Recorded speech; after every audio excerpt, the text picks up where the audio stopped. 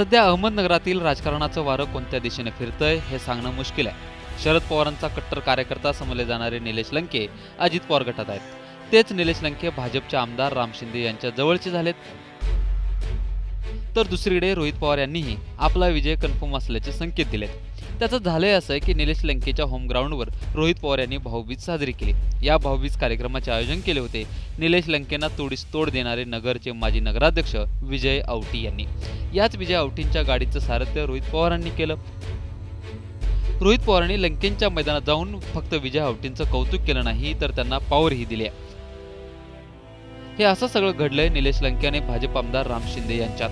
हे तेच राम शिंदे आहेत ज्यांचा दोन हजार एकोणीसच्या विधानसभा निवडणुकीत रोहित पवारांनी पराभव केला होता. आता त्याच राम शिंदेच्या जवळचे निलेश लंके झालेत. एकमेकांच्या गाडीचं सारथ्य करणं असो की असो सुखदुःखात सोबत राहणं लंके आणि शिंदे यांची मैत्री परफेक्ट जमल्याचं म्हटलं जाते लंकेने अजित पवारांचा हात धरल्यामुळे त्यांच्या मतदारसंघात शरद पवार गटाकडून विजय आवटींना संधी मिळतीये अशा चर्चा आहेत. जर या चर्चा खऱ्या ठरल्या तर येणाऱ्या निवडणुकीत निलेश लंके विरुद्ध विजय आवटी असा संघर्ष पाहायला मिळेल हे नक्की. ब्युरो रिपोर्ट मुंबई तक।